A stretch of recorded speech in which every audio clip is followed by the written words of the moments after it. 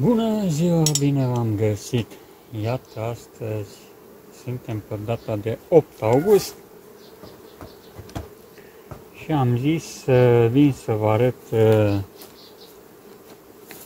adică suntem pe 8 august și ar cam trebui să vedem cam ce varoa avem prin stupi, fiindcă au început să apară pe social media ăsta, a început să apară imagini cu infestări foarte grave de varoa. Bun, eu uh, n-am vrut să mă mai complic, să zic așa, dar chiar nu e complicat.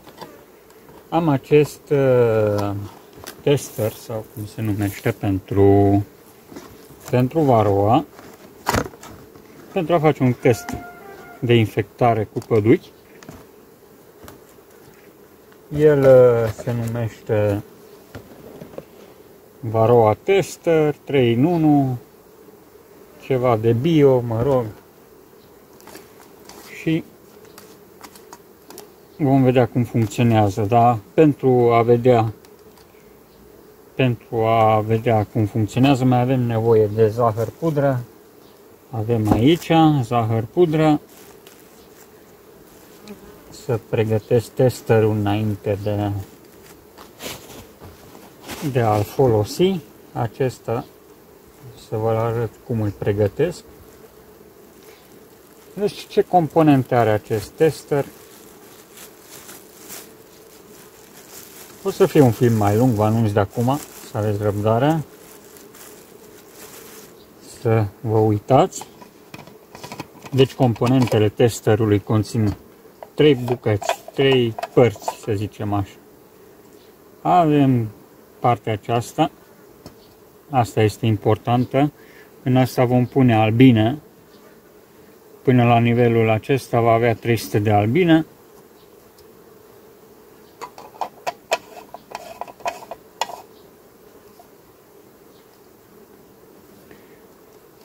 Stați mai bine. Deci, aici băgăm albinuții, ăsta e capacul. Așa. Și unde băgăm zahărul pudră, oricum trebuie desfăcute toate trei componentele.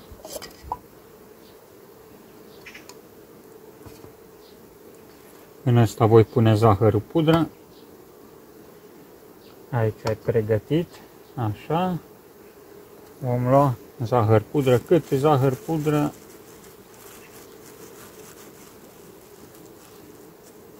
o lingură din asta de mâncare de zahăr pudră băgăm aici.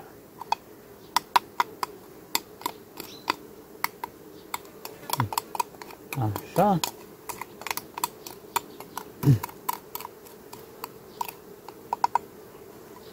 Aici avem zahărul pudră.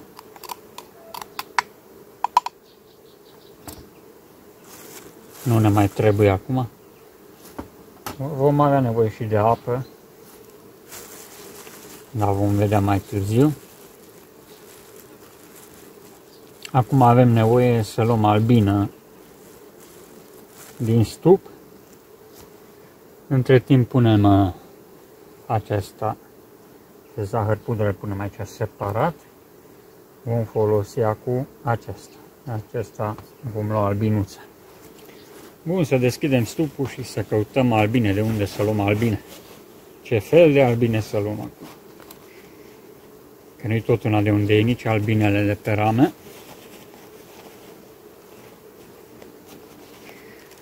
Încă un lucru de menționat este că nu vom face nimic rău albinei testând. Am vrut să totuși să fac acest lucru la o colonie care n-a intrat în friguri sau a intrat în friguri, dar n-a rohit. Deci a avut puiet uh, constant tot, uh, tot anul, tot, uh, toată perioada activă a albinei.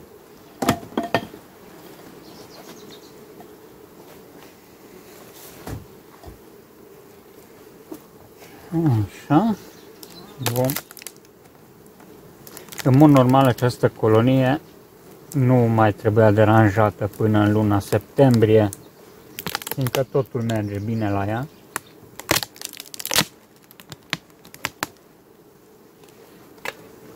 Totul merge bine la ea și nu era nevoie să o mai deranjăm. Dar pentru că fac acest test antivaroa, o să o deranjăm.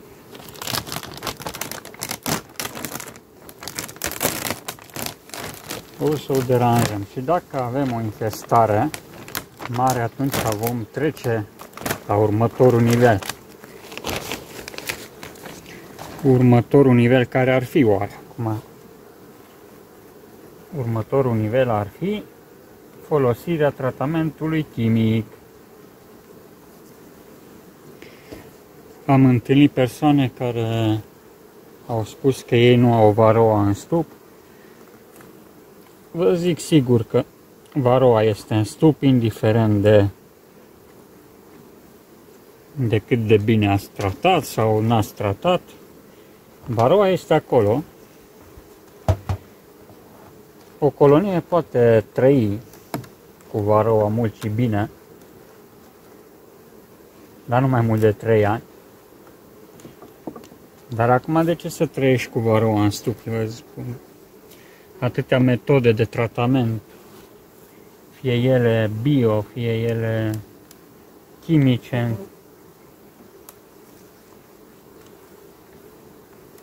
ecologice sau cum vreți să le mai numiți.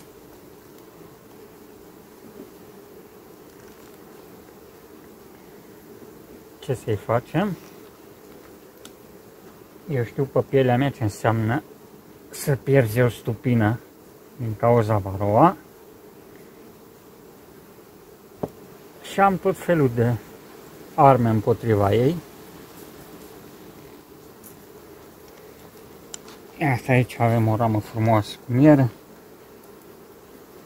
Dar asta deja la momentul acesta trebuie să fie în stup.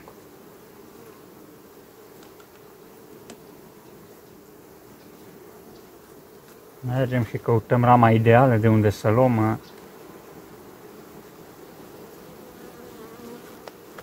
de unde să luăm puiet. Alții de unde să luăm albine, nu puiet. Iată altă ramă cu miere.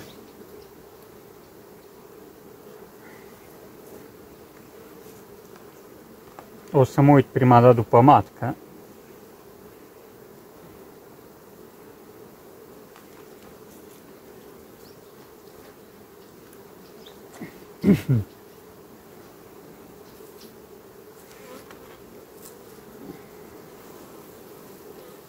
Iată aici avem o ramă frumoasă, cu puiet frumos. Să vedem cât se vede. Se vede bine. Trebuie să fiu mai atent când filmez, că de multe ori filmezi și nu filmezi ce vrei. Trebuie să căutăm matca înainte de a începe operația de colectare a albinei pentru test.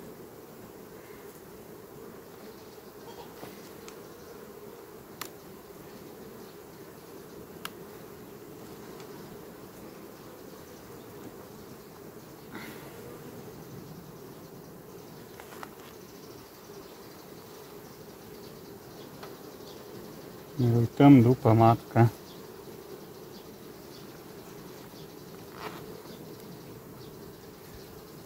E mai rar albina acum datorită că suntem în mijlocul zilei.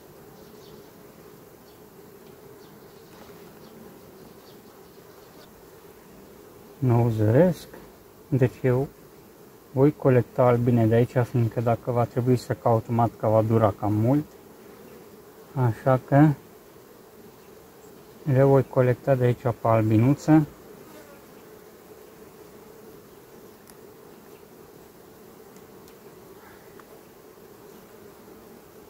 O voi face în felul următor.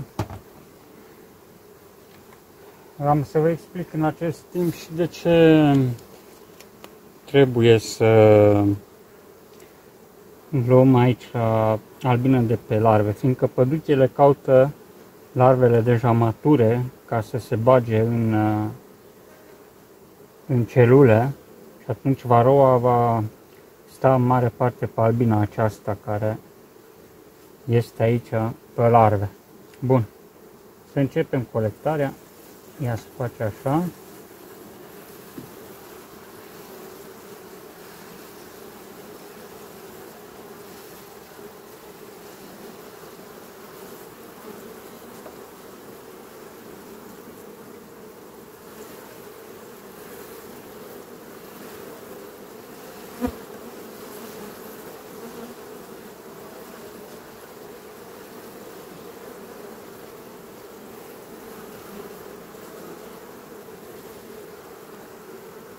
Am colectat. Închidem. Închidem orificiul acesta.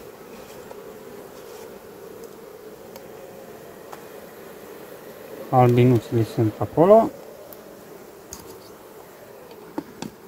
Punem și al doilea recipient unde avem zahărul pudră.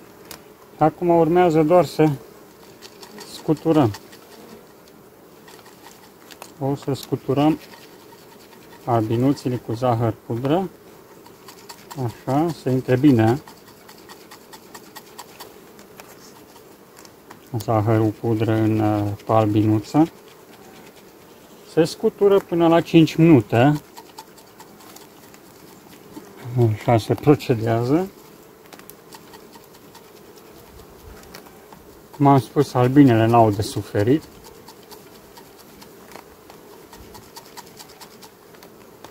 Face acest lucru, eu știu, vreo 5 minute așa. Bun, o să punem pauză și revenim uh, după. Bun, după ce am terminat de scuturat, întoarcem înapoi, zahărul pudră să cadă în recipientul acela. Vom îndepărta recipientul respectiv. Aici sunt albinuțile, le vom da drumul.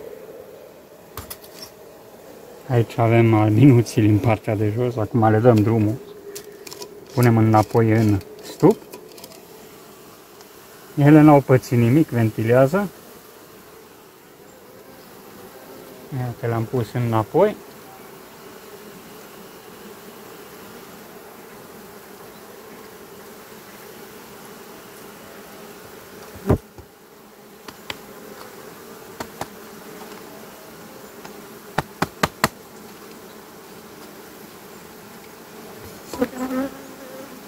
Le lăsăm să se ducă pe rame în jos. Strângem la loc cuibul.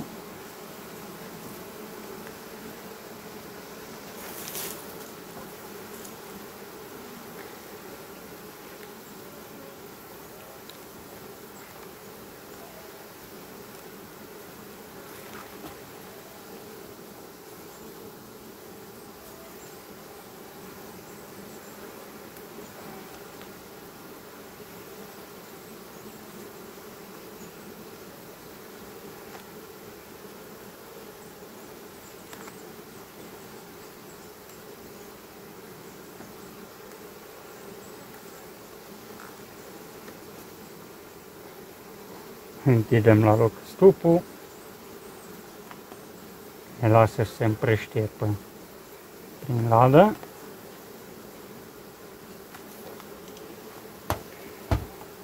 Și acum să vedem ce treabă am făcut aici. E vreun păduche, nu e? Punem apă.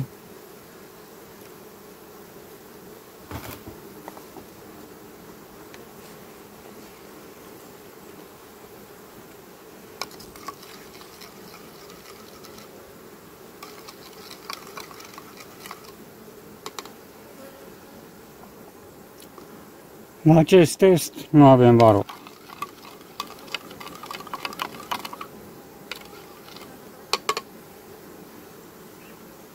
Cel puțin nu pe acele albine.